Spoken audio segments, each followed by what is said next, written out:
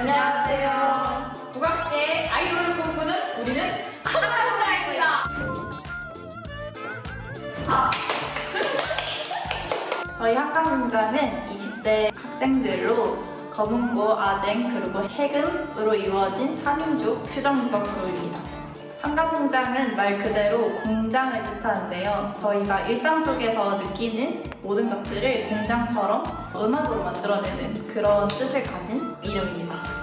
K-팝 장르와 국악 장르를 결합시켰기 때문에 국악이라고 하면 어려워하시는 분들이 아직 계실 것 같아서 좀 더 쉽게 국악을 들으실 수 있도록 하는 그런 팀입니다.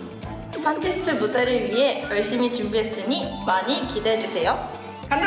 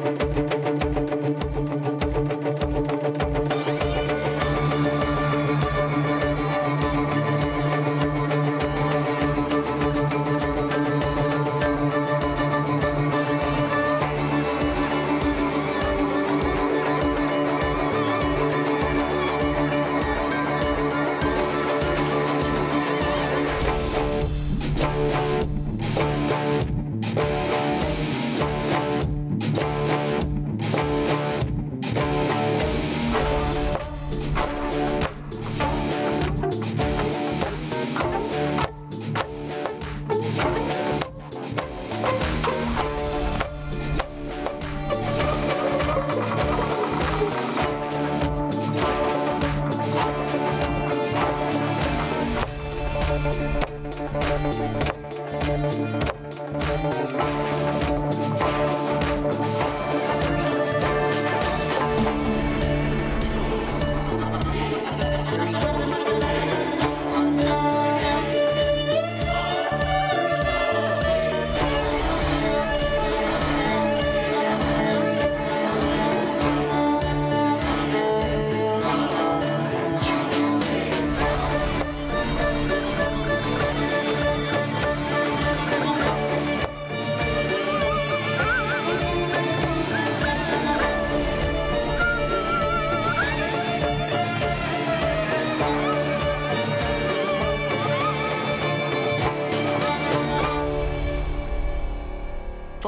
Three, two, one.